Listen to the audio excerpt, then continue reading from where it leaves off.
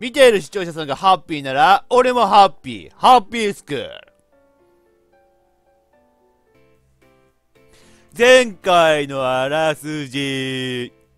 このゲームさ、シーンがたくさん飛び回ってね、なんか展開がすごい目まぐるしく変わるというね、えげつないゲームです。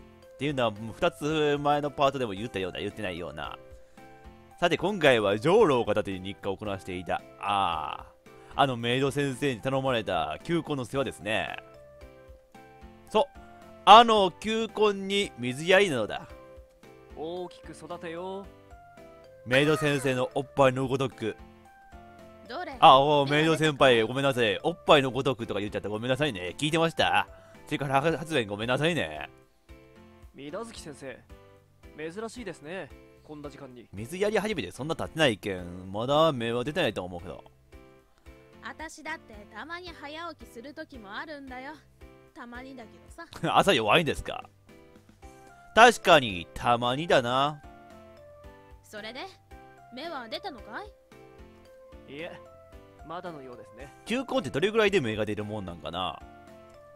そいつは残念さね。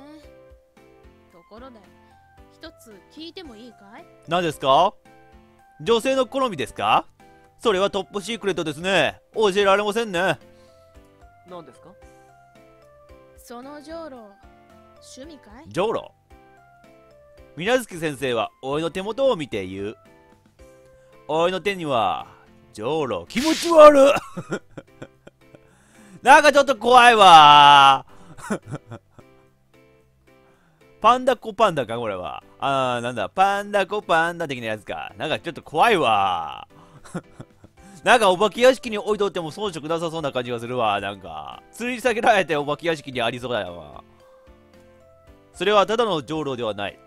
い一言で形容するならば、パンダの生首に取っ手がついている。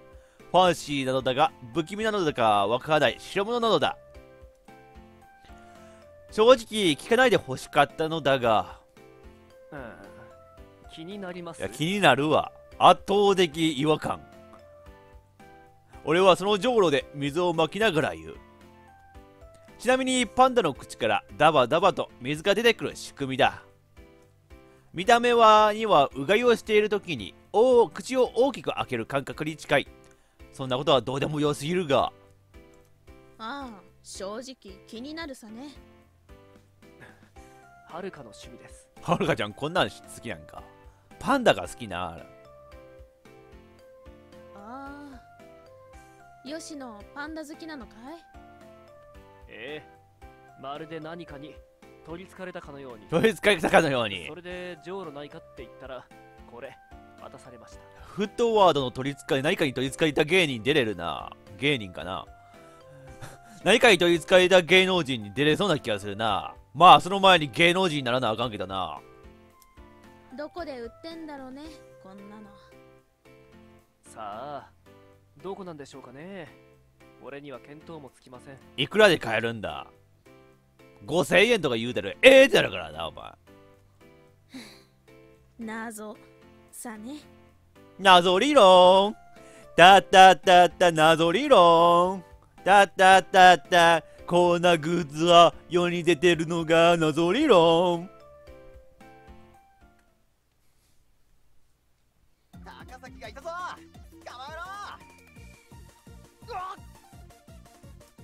教室に入るなりいきなり取り押さえられた。これは一体何のつも 俺は思わず言葉を失った。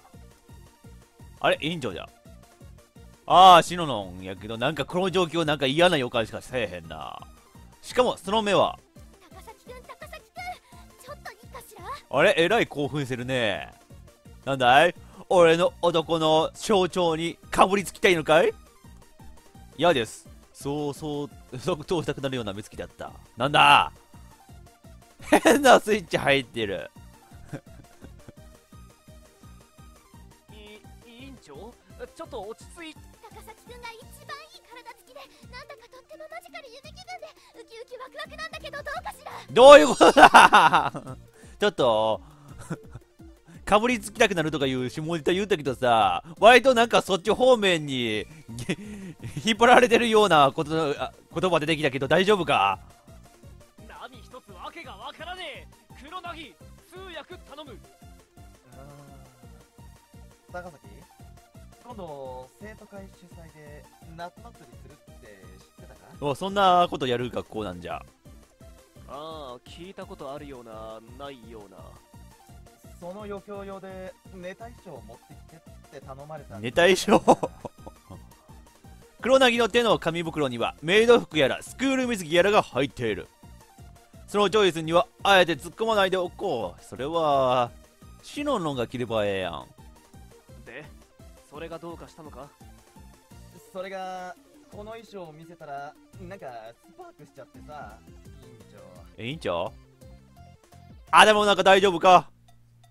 その衣装ってなんだよフリフリの形容しがたい衣装だった。何って。つぐみちゃんのデビューシングルの PV の衣装だよ。ああつぐみちゃんってあのこの前ラジオ3分で終わらせたつぐみちゃんか。ネットニュースで話題になってるぞ多分。ああなんか前に言ってたような気がするな。最近デビューしたアイドル歌手だっけ？そうそうそれそれなんかこの衣装が委員長の心の金銭に見事にストライク・ザ・科目アタックみたいなんだよ。はー。じゃあ自分で着れば？言葉の意味はわからないがニュアンスでおおむね伝わった。というわけだ。高崎ちょっとこれ着てみないか？は？あふざけんなよ！だったら委員長が着ればいいじゃん。おっぱい大きいんだからさ。みんなそれでぞっこんだぞ そりゃそうなるわ。もう3つも同じ選択肢が並んでるあたりからねもう完全にね全力で拒否してるっていうねもう全力ぶりがわかるからね。嫌だ。絶対嫌だ。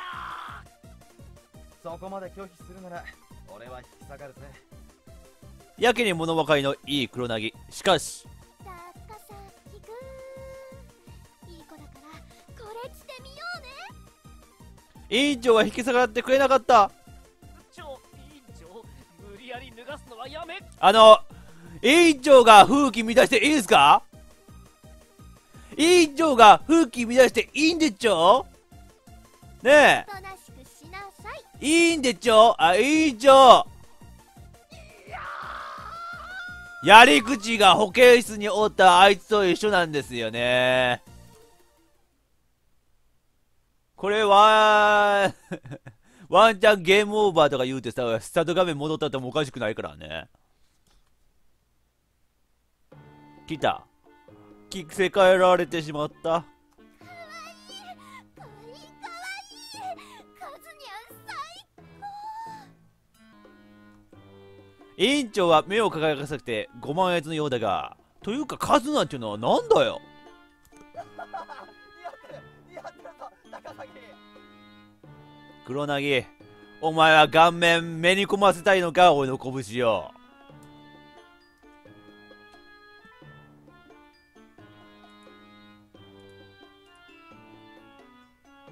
なんだ なんか気になる選択肢がたくさんあるな。その時気づいてしまった。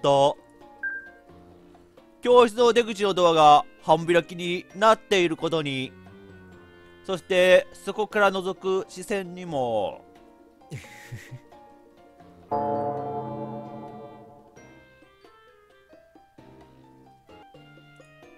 視線のさ主は怪しげな笑みを浮かべると消えていった。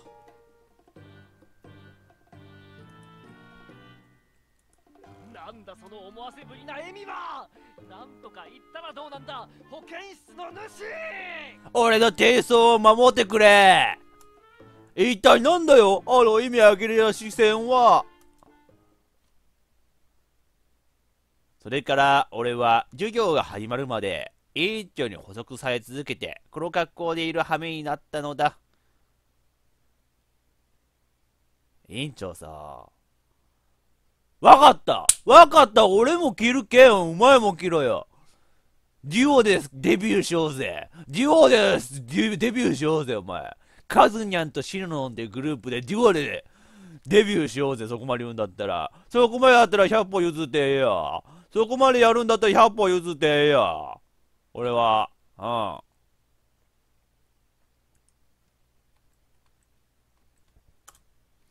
もう絶対に来ないからな。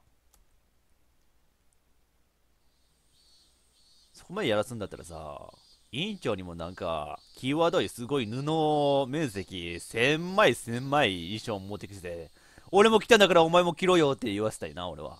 俺だったら。割とキーワードいもん持ってきたろうからな。マイクロビーズギとかそのあたりに持っていくか。この日は本当に暑かった。誰であろうとも発狂しかねないほど本当に暑かった。まあ委員長に視線が熱かったもんなさっきは。教室内は蒸し風呂状態である。窓からは風など入ってこない。おそらく今日の風向きが悪いのだろう。まさに地獄の様相の教室。そんな最中の出来事だった。え。どうした黒凪？気分でも悪いのか？うるせえどうしたことだ？いきなり黒凪は上着を脱ぎ捨てる。く黒凪気でも狂ったのか？いやいつも例外なく狂ってる気がするがこれがデフォルト。黙れ！あほんまに脱いでるやん。なんなんでお前脱いだ時のこういう立ち用意されとんだなお前は。委員長一緒に脱ぐ？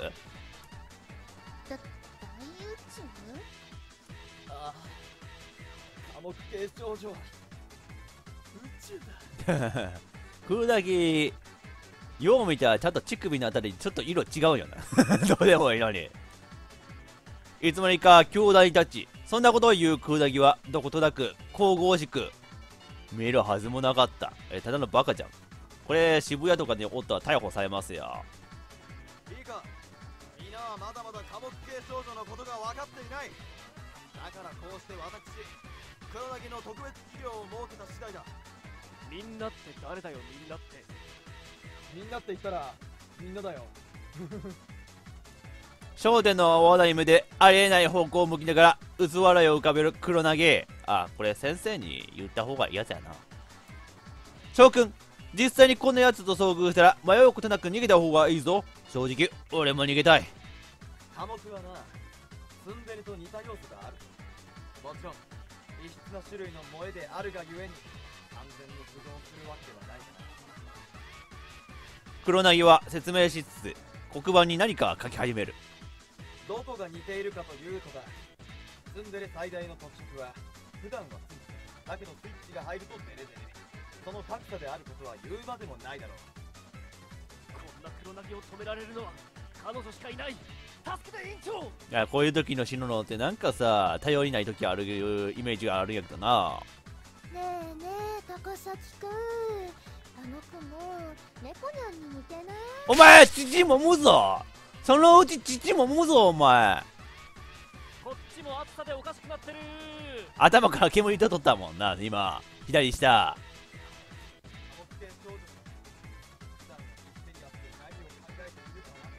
風紀守ってくれへんやうちのクラスの委員長風紀守ってくれへんやお前。萌え黒凪がチョークを握りつぶしながら力説する。黒板にはさっきまで黒凪が一生懸命書いていた。埴輪の絵？全然科目関係ないじゃないか。いや埴輪も科目といえば科目だが第一喋らないじゃないのさ。思わずはるか口調になってしまった大江だが。そういえばはるかお前黒凪をなんとかできる自信あるか？あんなやつ止められるやつこの人類におるのか？あるわけないじゃないの？カズトは？得意なトンチで止められない？得意トンチが得意ってキラつけられてるよ。トンチってな。俺は一休さんか。そんな起点が聞いたら今頃止めてるよ。ポクポクポクポクポクチーン。何も思い浮かびませんこのまま俺たちは黒凪に寡黙萌えに洗脳されてしまうのか？別にそれはそれでいい気がしてきたぞ。寡黙萌え最高！寡黙最高！は今俺洗脳されかけてた？畜生！この世界には神も仏もいないのか？今思ったけど神も仏もよってせセリフ。神仏集合が試みられた日本ならではの宗教観だよな。関係ないけど。そんなことを思って現実逃避し始めた時だった。なんだ？今の音。突如黒薙の体に鎖が巻かれた。鎖が巻かれたんだ。なんだろお前。マッドマックスの世界観か。世紀末の世界観が入ったぞお前。北斗の剣みたいな感じだよ。その鎖は一直線に窓の外に伸びていて。バカ者今私の授業の時間だよメイド先生の時間だったんじゃ。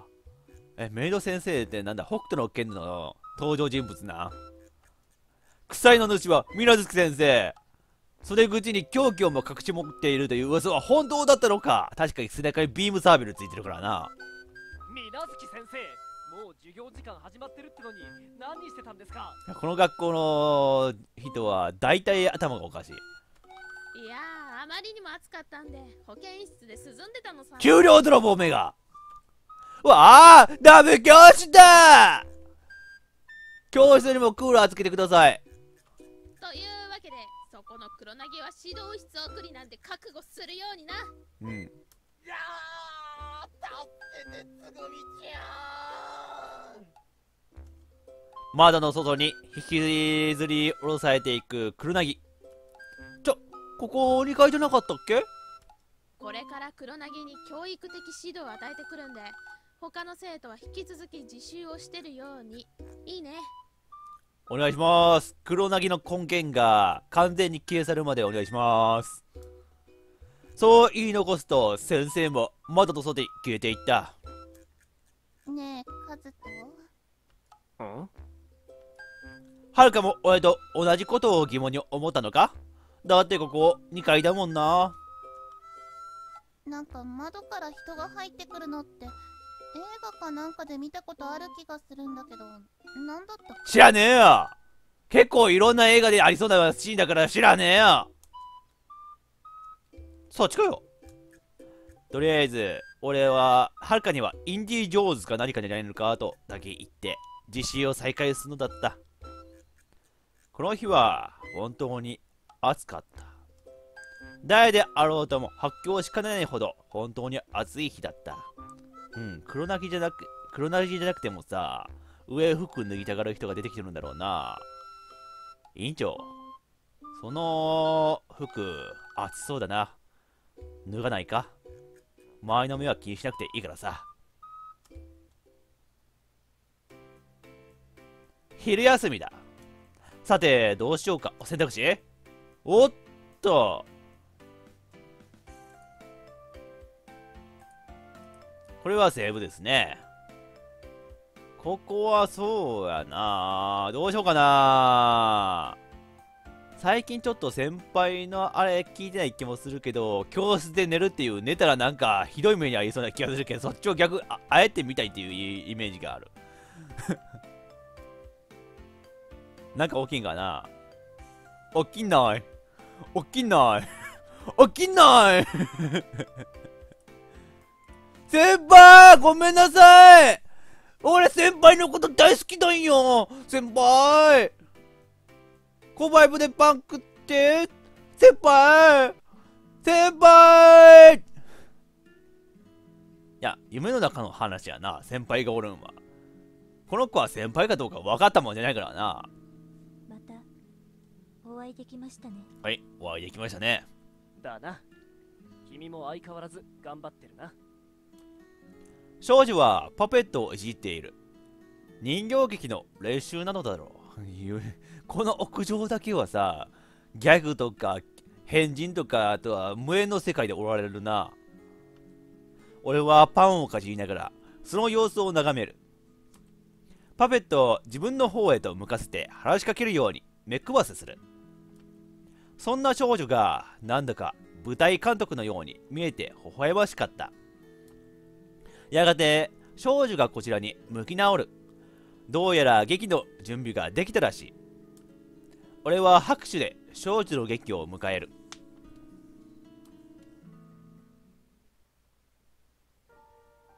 あの雨の日の後もフクロウは旅続きかその野原の先には小川があっていつも綺麗な水が流れてくるんだよ。フクロウは殻の前でやばい。総合的に話しフルボイスやけんさ俺が口を出す部分ないんじゃないの？これ。ヤドカリにとっては本当にそれだけのことのはずだったのです。でしたがずっとその話を聞いていたヤドカリはいつしか外の世界を見てみたくなりました。ああとうとだけど外の世界に対する恐怖は完全に拭いされたわけではありませんでした。殻から出るのは怖いが外の世界は見てみたい。うえ？だったら殻ごと移動すればええやん。ヤドカリは矛盾したおかしな気持ちに戸惑っていました。そんなヤドカリの気持ちを知ってか知らずかフクロウはこんなことを言いました。その殻の中から出ないでもいいから外の世界を見てみないかい？え？でもどうやって？ヤドカリはあーごめんなさい。フルボイスな忘れてしまう時がある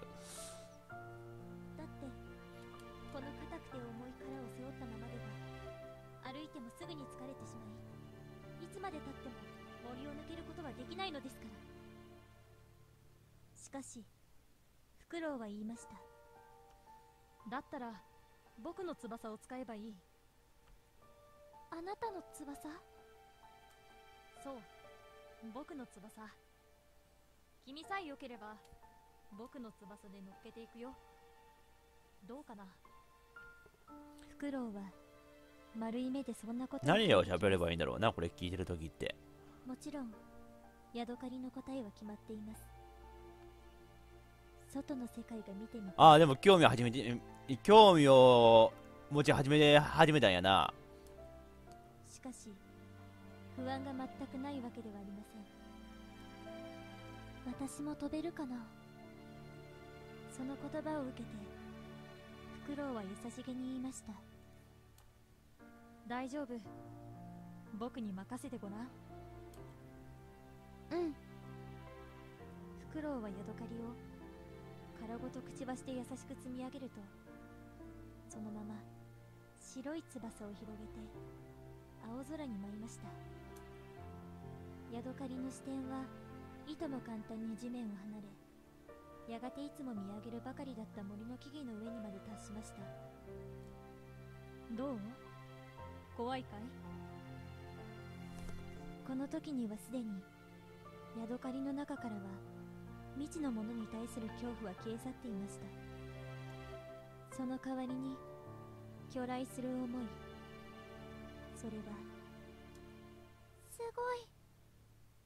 そんな声だったんじゃ。ヤドカリすっかりヤドカリは広がる世界に目を奪われていきました。その様子をフクロウは優しげに見つめながら言いました。さあ世界を見に行こ見に行きました。劇が終わった。